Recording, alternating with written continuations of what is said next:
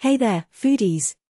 Get ready to showcase your artistic abilities with this show-stopping moon Moonwich blackberry pie recipe. It's a delicious treat that's sure to impress your friends and family. So, let's dive right in. First, let's gather our ingredients. You'll need 300 g of plain flour, plus a little extra for dusting. Don't forget 1 teaspoon of icing sugar and 225 g of unsalted butter, cut into cubes.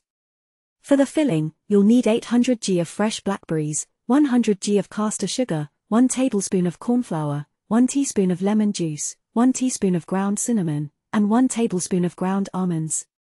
Lastly, grab 4 to 5 tablespoons of ice-cold water and 1 egg yolk for brushing. Now, let's get started.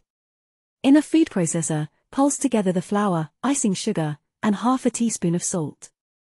Add the cubed butter and pulse until the mixture resembles breadcrumbs. If you don't have a food processor, you can do this by hand. Gradually add the ice-cold water, one tablespoon at a time, until the mixture forms large clumps and holds together when pressed. Next, dust your work surface with flour and transfer the dough onto it. Give it a couple of kneads to bring it together. Shape it into a ball, flatten it, cover it with cling film, and pop it in the fridge while we prepare the filling. For the filling, combine the blackberries, caster sugar, corn flour, lemon juice, and ground cinnamon. Let it sit for 15 minutes to let all those flavors meld together. Preheat your oven to 190 degrees Celsius 170 degrees Celsius fan gas mark 5 and grab a 23 centimeters pie dish.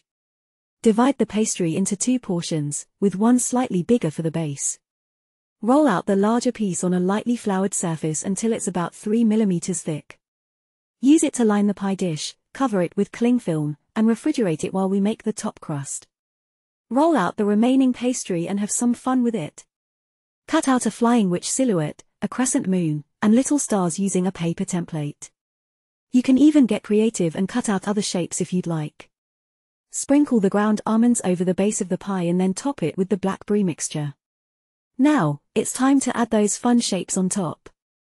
Brush them with the beaten egg yolk to give them a beautiful golden finish. Pop your pie in the oven and bake for 30 to 35 minutes or until it's golden brown. If the top is cooking quicker than the bottom, simply cover it with foil. Once it's done, serve it up hot and enjoy the magical flavors of your Moon Witch blackberry pie. And there you have it, folks. A show-stopping pie that's as delicious as it is beautiful. So, grab your apron and get ready to impress with this Moon Witch blackberry pie recipe. Happy baking!